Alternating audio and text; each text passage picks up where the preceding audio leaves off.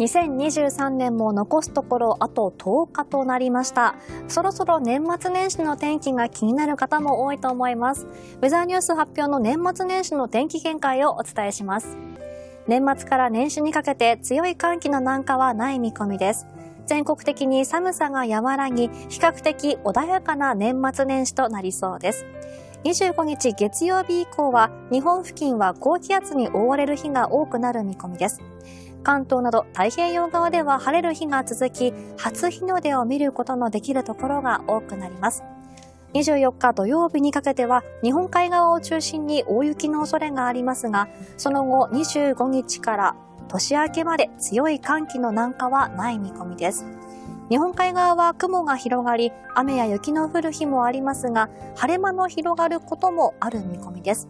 日本海側の各地でも初日の出を見るチャンスがあるかもしれません。